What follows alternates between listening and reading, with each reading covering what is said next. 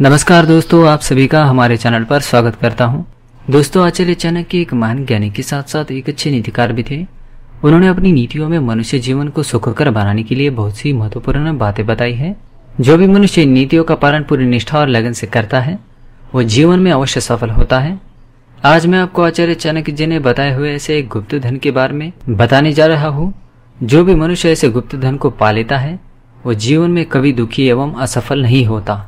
आचार्य चाणक्य अपने श्लोक में कहते हैं, कामधेनु गुना विद्या, हे काले फलदायिनी, प्रवासी मात्र सदृशा, विद्या गुप्तम धनम स्मृतम। इस श्लोक में उस गुप्त धन का वर्णन बड़ी ही सरल भाषा में संपूर्ण स्पष्टीकरण के साथ किया है। आइए जानते हैं, ऐसा वो कौन सा गुप्त धन है, जिसे पाने के बाद मनुष्य प्रत्येक कार्य में सफलता हासिल करता है। विद्या कामधेनु के समान। आचार्य चाणक्य के अनुसार कामधेनु एक गाय है और हिंदू धर्म के प्राचीन ग्रंथों में इस गाय का वर्णन मिलता है। कहा जाता है कि जिस किसी मनुष्य के पास कामधेनु गाय होती थी, उसे संसार के सभी सुखों की प्राप्ति होती थी। कामधेनु गाय किसी भी मनुष्य प्राणी को मनवांचित फल प्रदान करने में समर्थ है। कामधेनु के समान कोई वर नहीं होता है। कामधेनु का दूध अमृत के समान होता है। वो किसी भी तुच्छ प्राणी को अमृतत्व का प्रदान कर सकता है।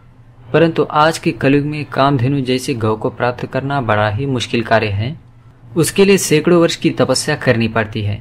परंतु कलयुग में मनुष्य के पास उतनी आयु नहीं होती है, इसलिए वो कभी भी कामधेनु को प्राप्त नहीं कर सकता। आचार्य चाणक्य कहते हैं, कलयुग में कामधेनु के समान अगर कुछ है तो वो केवल विद्या है। यदि कोई मनुष्य विद्या प्राप्त करने में समर्थ हो जाता है तो उसे संसार के सभी सुखों की प्राप्ति होती है। विद्या प्राप्त किया हुआ मनुष्य कभी भी दुखी नहीं होता।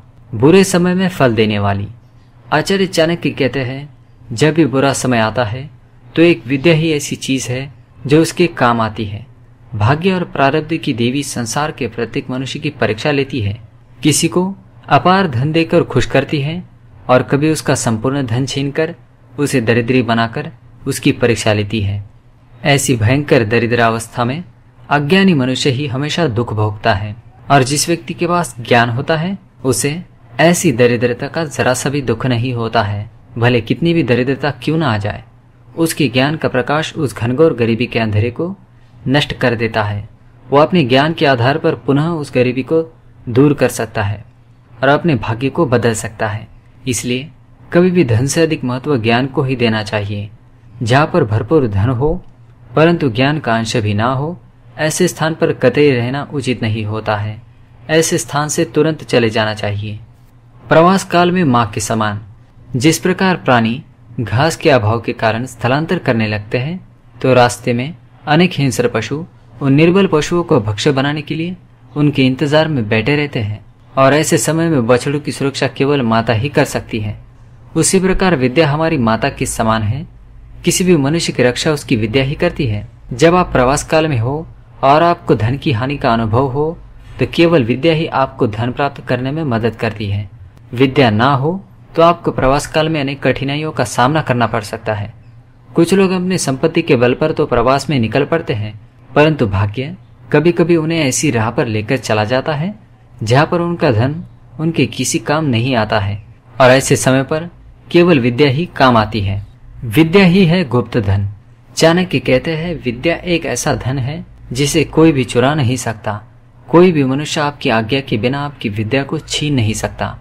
अगर आप अपनी स्वेच्छा से किसी को विद्या प्रदान करें, तभी किसी को ये गुप्त धन मिल सकता है।